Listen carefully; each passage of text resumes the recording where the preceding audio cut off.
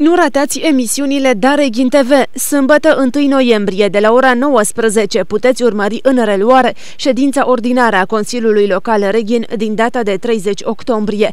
De la ora 21 se vede în reluare balul bobocilor organizat de Liceul Tehnologic Petru Maior. Duminică 2 noiembrie de la ora 19 Oana Mărginean vă invită la Senso cu o trecere în revista a festivalului Mureș Dorurile tale, un subiect pe temă religioasă alături de preotul Vasile Chiorian și rubrica Destin și Istorie, pregătită de profesorul Ioan Costea.